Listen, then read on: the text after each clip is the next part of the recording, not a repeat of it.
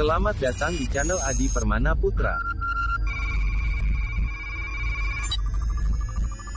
Selamat menyaksikan.